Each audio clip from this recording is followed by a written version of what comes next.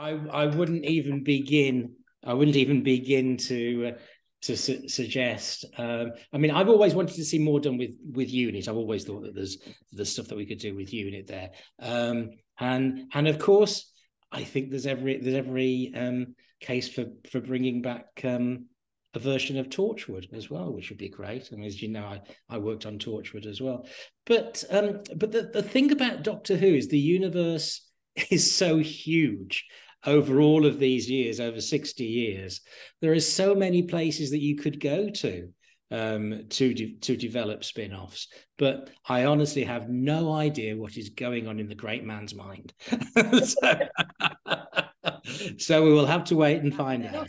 Absolutely do. Absolutely do. I think I think there's every chance. I mean, even if even if it was going back in time to an early an earlier iteration of uh, of Torchwood, I think, uh, which in fact we did do in the show. Um, but um, yeah, uh, absolutely. I don't I don't see any reason why we couldn't do that. Um, you know, and it's science fiction. It's Doctor Who. You could do all sorts of things.